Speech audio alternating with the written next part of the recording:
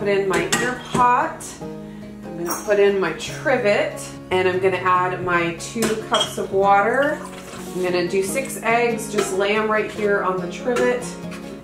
And as the manual stated, cook them on the vegetable steam setting for seven minutes. Hit steam vegetable and it already comes up as seven minutes for normal. And you can see the six lights here are lit up so it's on the six um, level six of the pressure and then I'm going to just hit start. Oh, and I did also want to make sure that I have it on the sealing setting. Here's a quick view of what the pressure release valve looks like. So they have the venting right here and then push it this way for sealing.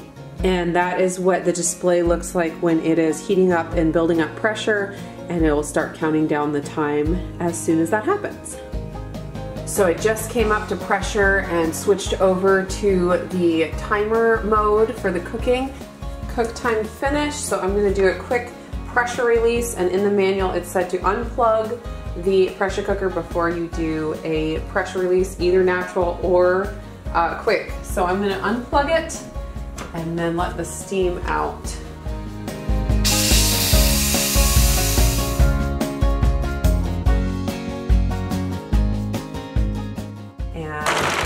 These eggs into ice water and let them sit for a minute and then I'll peel them real quick. Okay, let's try one of these eggs and see how it turned out, how easy it is to peel. Oh yeah, perfection.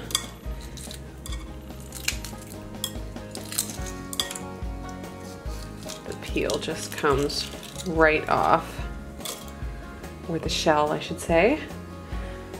Beautiful, absolutely gorgeous. Let's see what the inside looks like. Look at that, not a single bit of gray or green or whatever color the yolk turns. It looks absolutely perfect.